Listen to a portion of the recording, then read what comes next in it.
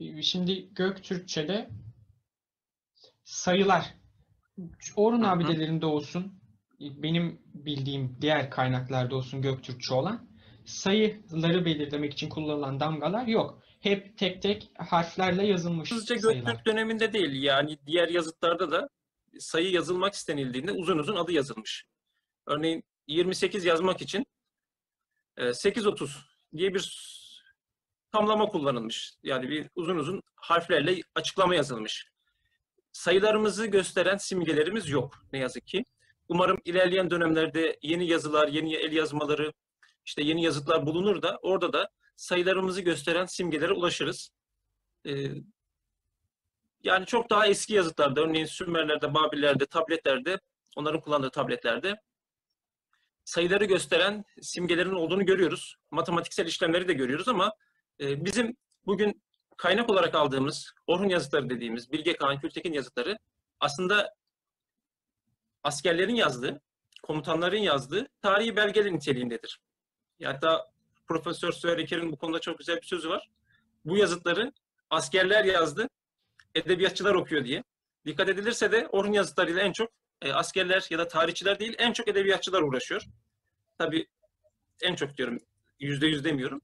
E, dolayısıyla oradakiler biraz tarihi, biraz edebi metin olduğundan dolayı sayılar orada çok işlenmemiş. Ama olur da yeni bulunacak yazıtlarda, el yazmalarında matematiksel işlemleri anlatan çalışmalar olursa ne mutlu bize. Orada sayılarımızı da görmeyi çok isteriz. Sayılar kullanılmış yani bizim kendimize özgü sayılarımız var. Ve e, birçok ulustan da önce bazı temel kavramları kullanmışız. Örneğin e, ilk başta 50'li sayı düzenini kullanmışız. Buna nasıl ulaşıyoruz? Örneğin her bir onluğun kendine özgü adı var. 10, 20, 30, 40, 50. Her birinin kendine özgü adı var. Sonrasında atalarımızın bu 50'li sayı düzeneği yetersiz geldiği için 6'mış, 7'miş yani 60, 70. Oradaki mış mişin 10 anlamına geldiğini görüyoruz. 8, 10, 80, 9, 10, 90 ve 100. Ve sonrakilerin türetme olduğunu görüyoruz. Demek ki atalarımız belli bir döneme kadar 50'li sayı düzenini kullanmışlar. Sonra gereksinimler doğrultusunda yeni onluk adları vermişler ve yüze gelmişler. Sonrasında da bakın hep onluk düzenek üzerinden gidiyoruz ve bunlar da tamamen öngörülebileceği gibi parmaklarımızla ilgili.